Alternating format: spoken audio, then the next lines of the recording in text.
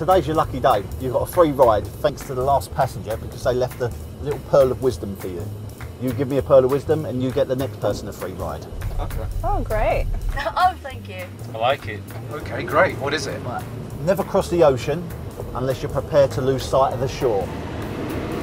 Wow, fantastic. Well, a bit of advice from me. Um, everything works out well in the end, and if it hasn't worked out, that's because it's not the end yet. Don't get upset when you get your heart broken because you'll get over it. At the end of the day, you'll come out stronger and you'll be a better person for the right person. Yeah, that's good. That pays for the next person's right. Nice.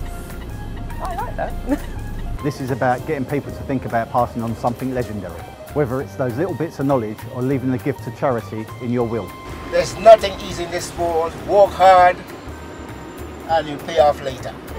Don't suffer fools, unless you are the fool. then feel glad you're being suffered. What about yourself? Hmm. It would probably be be smart enough to realize how stupid you are. I'm with stupid. I would say enjoy every day. It might be your last, and just really go for it. Just have fun. You never know what's around the corner, do you? Well, actually, we're doing this case. It's Oxford Circus. hey, boom. Boom, boom.